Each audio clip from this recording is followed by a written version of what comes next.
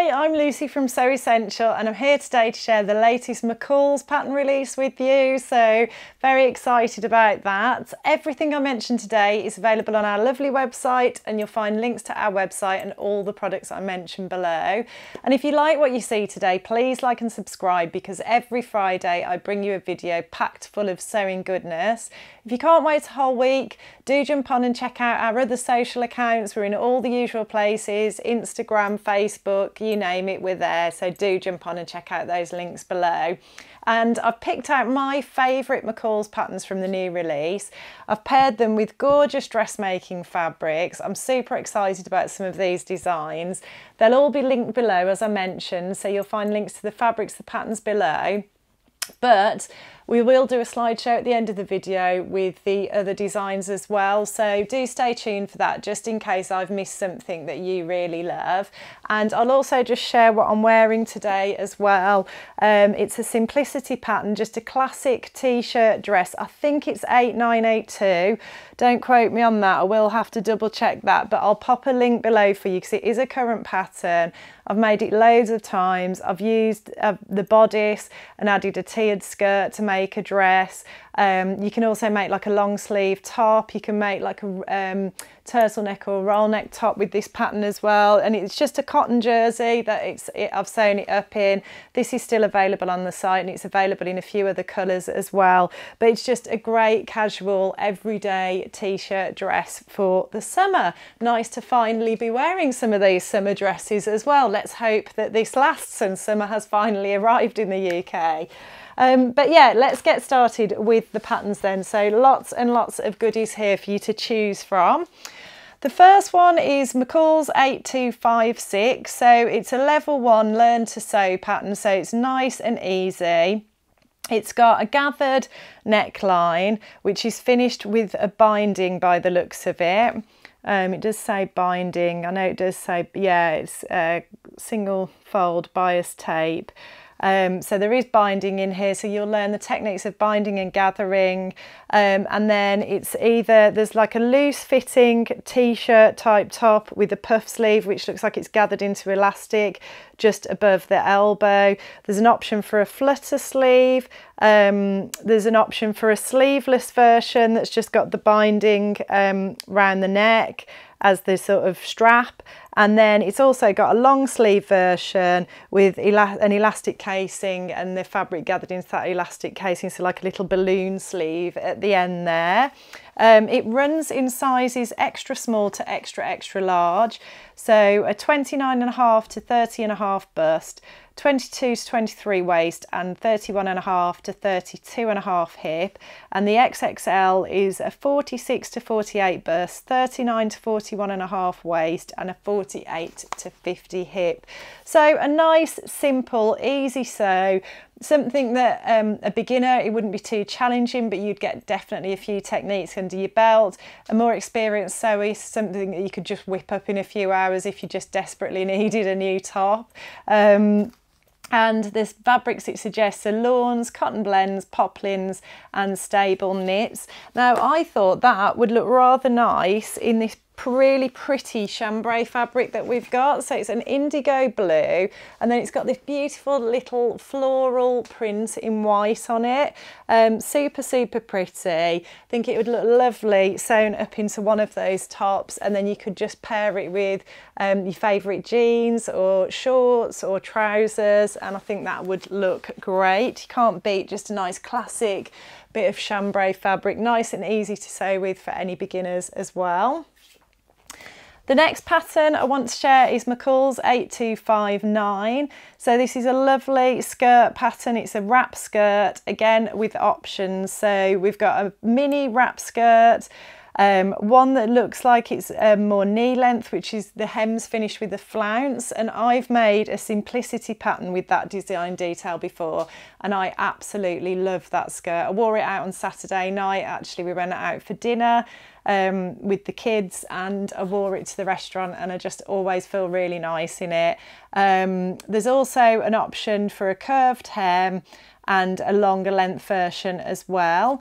This one runs in sizes extra small to extra extra large again it's the same as the last pattern and this again is a woven pattern so it can be sewn up in crepes, lawns, cotton blends, lightweight sateens. So the fabric I chose is this gorgeous McElroy cotton fabric. I think it might be a lawn, I'm not sure, it might be a poplin, but if you check on the um, link below, all the description will be there on the product page. Um, but it's this beautiful poppy print against this very neutral grey background, quite sort of muted colours really, but a very striking, beautiful print. And I think that skirt, any of the versions would look super, super pretty sewn up in this fabric. It's, it's a lovely weight, this fabric is as well. It's um, definitely sort of more of a medium weight, but it's still got the drape and movement that you need for a skirt like that. Um, but yeah, it just feels absolutely gorgeous quality that does. So I think that would sew up really, really nicely. And then very excited, those of you who know me well know I've got a bit of an obsession with the 70s um, era and 70s fashions and McCall's have revived a couple of the vintage 70s patterns in this release which is super exciting and I think I might just have to make one of them. It's not this one, it's the next one but I'll show you that in a minute. Um, so the one I'm going to show you now is McCall's 8258 which comes in sizes 6 to 24. So a 6 is a 30 and a half bust, 23 waist, 32 and a half hip. And the 24 is a 46 bust, 39 waist and 48 hip um, and yeah just oh wow just so 70s so there's three different views three different views two dresses and a top so view A is a super duper maxi dress, proper full on 70s maxi dress. Um, it looks like it would be, it's got um, a square neckline, again, very on trend with the option to do the sort of a square border um, on the neckline. And then it's got gathered fabric round the bust, which is always quite flattering there for anybody who um, you know, perhaps wants to enhance the bust area a little bit. I certainly need a lot of help in that area, so gathers and pleats and things around there are good for me. Um, and then it's got a waistband or cummerbund at the front, which ties into a bow at the back. And then the, I think that would be relatively empire line, and then the skirt, the sort of flared um, maxi skirt comes out from under there. And then it's got a beautiful flutter sleeve just absolute 100% 70s glamour. So so beautiful. View B is the top version of that, so it's exactly the same, apart from instead of coming all the way down into a maxi skirt, you've just got a little um, flared sort of piece of fabric that looks like it would hit probably at the high hip. Um, and then there's a really super cute little sundress as well which has got that same square neckline, the same gathered panel of fabric across the bust, the same cummerbund waistband that ties into a bow at the back, and then it's got sort of a loose fitting flared skirt that finishes at the knee. Um, so yeah, super, super pretty, lots of gathers, lots of opportunity to have fun and really customise it and personalise it and make it your own.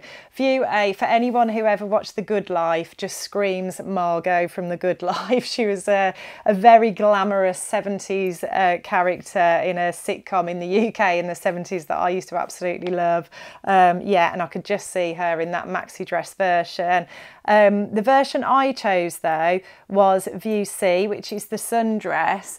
And I just thought that would look so lovely. If you're going to go full on 70s retro, I thought it would look lovely in this high twist Rickardi viscose fabric that we've got, which has got definite, definite retro vibes. Um, I really like these high twist Rickardi viscose fabrics because they are weightier and more substantial than some of like the Moroccan crepe type viscose fabrics, which can be quite um, lightweight. They, they've still got all the drape and movement, these high twist Rickardi ones, but they're definitely just a bit more substantial, which I really like for dresses and things. So it's the same base cloth, I think, or very similar to the one that I used for my cutout um, back dress, which I shared last week, I think it was.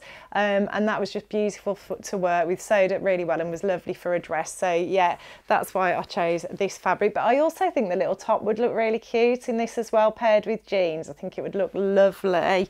Um, I think the top and the jeans, flared jeans, would be more Barbara from The Good Life for anyone who, who was into that show. Um, but as I mentioned, links to all of this are below, so do check out the links. Now the next one is McCall's 8257 and my heart literally stopped a beat when I saw this and I've just got to work out whether I would wear it. Um, because it again is full on 70s glamour, absolutely love it. Um, but the, the design I really like has got some midriff on display and I'm just not 100% sure how I feel about that. But haven't it's been a long time, a long time since I've had my midriff on display in clothing. I still wear a bikini on the beach. Um, but yeah, I haven't, haven't shown, shown that area of my body off in clothing for a long, long time. However, it is a high-waisted um, skirt. So the midriff that you're showing really is sort of above um, above the waist. So it's just like where your ribs are basically. So it doesn't feel so exposing but the top is quite sort of um, looks quite low cut as well. So I've got, I've got to work this one out because I really really want to make it want to wear it but I just don't know if it's going to be practical for me. But anyway let me tell you about the sizes before I get started. So extra small it runs in an extra small to an XXL so the bust is 29 and a half to 30 and a half 22 to 23 31 and a half to 32 and a half for an extra small and then for an extra large extra extra large sorry it's a 46 to 48 bust 39 to 41 and a half waist and a 48 to 50 hip um, so the options in this pattern are, I think the reason why they've been able to do the whole extra small to extra extra large rather than set sizes is because it's an elasticated waistband I think. Yeah let me just check. Yeah wide elastics they're asking for it. Yeah the elastics for the waistband. So um, there's a maxi skirt with an elasticated waist which as I said looks like it's it hits on the high waist um, and then there's some loose fitting trousers really wide leg trousers that also are high waisted and elasticated. And then you've got the tops um, to pair with them. So the view I really love um, is the skirt with the um, top C, which is it's got a V-neck and then it's a tie top and then it comes in sort of across like that under the bust as well and then it's got these big um, flared sleeves. I just it's so pretty and I just love it with that skirt. I just the whole look is just dreamy for me and I was thinking well the skirt I definitely would wear loads. I could just wear that with a crop t-shirt. Um, you know, I, I, would happily a vest top, a cami top, whatever. I'd wear that skirt all day long to work, out, wherever. Um, it's just the whole crop top thing. I'm just not 100% sure. I've got some high waisted denim flares that I'd probably pair it with, and I've got some lovely, like super 70s chunky tan leather sandals that I'd wear with that. Um, but yeah, I've just got to get my head around whether whether I would wear it. Um, and then there's also like almost like a baby doll top option as well. So it's got um it's got it's a square a square neckline again and then it's got the option for um, a bit of a trim across there like a border trim uh, lace or something along those lines and then a matching one across the bottom. And it's very baby doll it's just loose just drops. I think it's got gathers yeah there's gathers underneath that sort of piece that goes across the neckline um, and then it's got these sort of like oblong or square panel pieces that come over the shoulder, which are super duper 70s.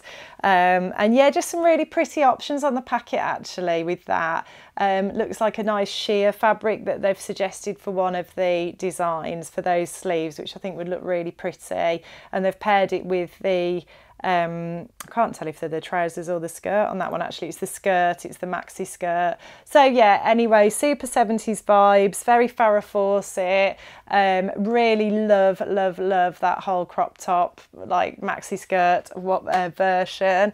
And the fabric I chose to make any of those with really, um, but I, I was thinking that matching um, two-piece set of the crop top and the skirt is this linen viscose mix fabric, which is a Lady McElroy um, poppy print again, lots of poppies this year, super, super pretty, beautiful fabric, really lovely weight, really lovely drape and movement. And I just think that matching two-piece set would look phenomenal in this. So yeah, that would be my pick for that one. The next pattern is McCall's 8255. This runs in sizes 8 to 32. So an 8 is a 31 and a half bust, 24 waist and 33 and a half hip. And the 32 is a 54 bust, 49 waist, 56 hip. Um, again, some nice options on this one. So you've got a lovely scoop neckline, princess seams at the front and the back. I think it's fastened, yeah, it's fastened with a zip. Um, and then you've got some really pretty options on this one. You've got like quite a plain, simple top um, that's just got a straight hem and just simple straight sleeves. You've then got a top that's got a lovely scalloped hem. Um, and I bought a jacket recently that had a scalloped edge to the patch pockets and a scalloped edge to the cuff. And I really love that. It's just a nice little unusual feature. I think that looks really pretty on the hem of this top. And then there's like a little puff sleeve which finishes in a band. Um, so it looks like it's gathered into a little narrow band. There's also an option for a sleeveless version, so just a very fitted um, sleeveless version with that lovely scalloped hem. And then there's a version which is just plain and simple, straight hem, but got a long sleeve which gathers into elastic at the hem. Um, so yeah, just a lovely fitted pattern, nice blouse that I think styled really well on the packet, done in a nice floral print with a pair of simple jeans, something that you probably would wear a lot. I know I would. And the fabric I chose for this one, it's a, a one for woven fabrics again, so like ginghams, linens, satins, cotton blends, that sort of thing. I think they do suggest lining it actually. I don't think they've given you a facing for finishing the neckline. So yeah, they do suggest lining it, but if you wanted to, you could create a facing or you could perhaps use a binding to finish the neckline or you could just line it not line the sleeves that's what I would do. Um, you know lining isn't that difficult all you've got to do is just make the bodice again in the lining fabric and join it at the neckline. It'd be really simple and all the instructions would be in there for how to do that as well. Um, and the fabric I chose is this lovely Lady McElroy um, cotton prints. It's just very simple and fresh. I love this lovely green colour. And it's just got this very simple little white spot on it. I made a tailored shirt a couple of years ago in the white colourway of this with a black spot um, and I've worn it loads and loads. I really like it. I think that would look great in that. And then finally, we've got McCall's 8253, which runs in sizes 8 to 32. So the 8 is a 31 and a half bust, 24 waist, 33 and a half hip, and the 32 is a 54 bust, 49 waist and 56 hip. So this is going with the whole cutout trend again. So again, we've got a little section cut out which is above the high waist by the looks of it. So just that little rib cage area. Um, there's a version, it's meant to be an easy sew as well. It's for stretch knits, um, jerseys, interlock. It's got to be something with 50% stretch, so a good amount of stretch. Um, so like probably like your viscose jerseys and things like that would be great for this. Um, so there's an option which is sleeveless and has got gathering um, from, there's like a little tie at the front. So it gathers round the bust and then also underneath on the skirt, it's gathered round that centre front seam and it's a short straight skirt. Um, it's, yeah, it's like ruched rather than gathered, sorry, it's ruching, which you can, you can, um, pull the drawstring to create the ruching or redistribute the ruching on the bodice. Um, I don't think you can on the skirt bit, um, but that's view A. View B is a longer length um, dress, so that's the one on the front of the packet. It's got like um, a dipped hem and it's got the ruching around the tummy area and then the ruching around the bust tied with a drawstring and the little cutout long sleeves. But the version I really like the look of is view C um, and this has got the functional drawstring at the bust there. So you know it's going to create that ruching around the bust. It's got a little bit of cutout. It doesn't look like a lot because actually the skirt on view C comes straight across whereas the other two cut down view C comes straight across. So it's going to be very little on display um, at the cutout with this one because it looks like quite a nice high waist um, and that would definitely be my preference with the v-neck. And then it's got a, a, short sleeve and the hem looks like it probably would be like a midi length to me. It looks like a relatively long just straight across hem. Um, and I think that would look really lovely sewn up actually. I think the cutout trend can feel a little bit scary or a little bit sort of revealing, you know, if you're not used to to wearing that sort of thing. Um, but I think it can look really demure. I think it can be done really well, and I think View C would be a good example of that.